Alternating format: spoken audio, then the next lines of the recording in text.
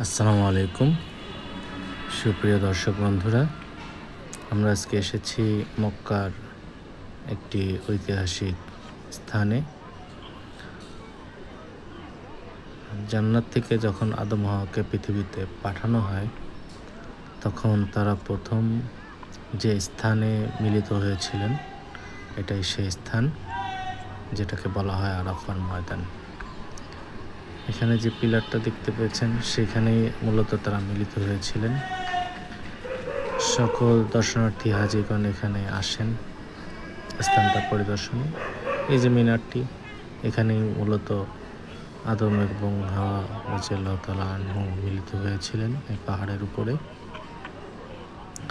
তবে এখন বর্তমানে কিছু মানুষ এই জায়গাটাকে খারাপ উদ্দেশ্যে ব্যবহার করছেন, যেটা আমরা দেখতে পেয়েছি।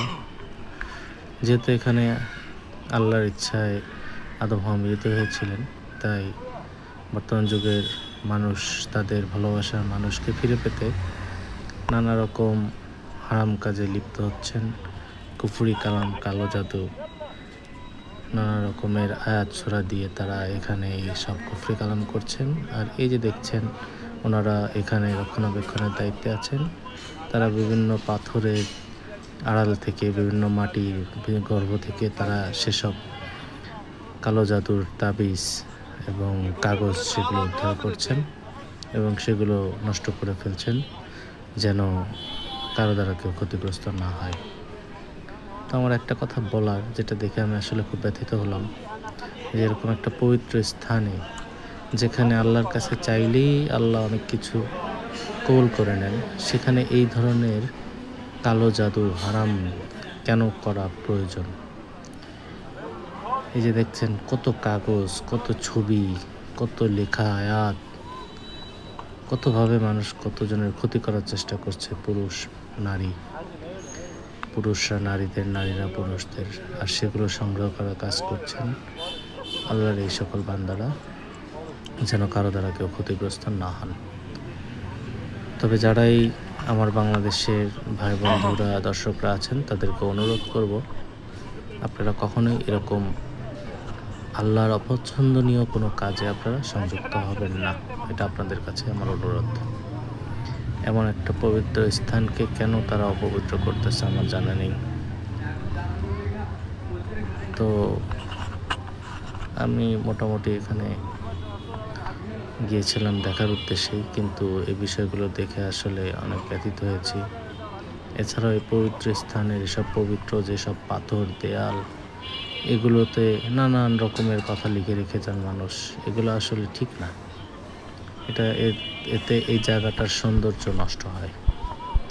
কারণ সারা পৃথিবী থেকে লক্ষ লক্ষ কোটি কোটি মুসলিমরা আসেন এখানে। আল্লাহর সান্নিধ্যে আল্লাহর কাছে চাইতে আসেন। কিন্তু এই জায়গায় আপনারা কিছু নির্বোধ মানুষের অপকর্মের সাক্ষী মানুষকে অনেকটা ব্যথিত করে, মনোযোগ নষ্ট করে। কেন ভাই আমরা এগুলো করি? সকলকে অনুরোধ করব যেন আমরা এসব কাজ থেকে বিরত থাকি। আর এখানে এসে এটাকে যে মিনারটা, এটাকে সেজদা করা বা এটা মুখী হয়ে আপনার মনাজাত করা, এগুলো সম্পূর্ণ নিষেধ করা হয়েছে। তারপরেও অনেকে করছে। এটা আসলে হয়তো বুঝেই করছে, কিন্তু এগুলো করা যাবে না। আপনি এখানে এসে এটা দর্শনের শেষে হয়তো দোয়া করতে পারেন, আল্লাহর কাছে চাইতে পারেন। কিন্তু এই মিনার বা এই জায়গার কোনো অংশকে আপনি জেরিয়া করতে পারবেন না। এটা আল্লাহর সাথে শিয়োগ করার মতো হয়ে যাবে। কারণ দেওয়ার মালিক একমাত্র আল্লাহ এবং চাওয়ার জায়গাও আল্লাহ। মাধ্যম আপনার আল্লাহর আয়াত, আল্লাহ তো চাওয়ার মাধ্যম বলেই দিয়েছেন। আপনি তার আয়াত পাঠের মাধ্যমে আপনি তার কাছে আপনার চাওয়াগুলো চাইতে পারেন। সেক্ষেত্রে পাথর বা পাহাড়কে মাধ্যম করার কোনো প্রয়োজন আছে বলে আমি মনে করি না।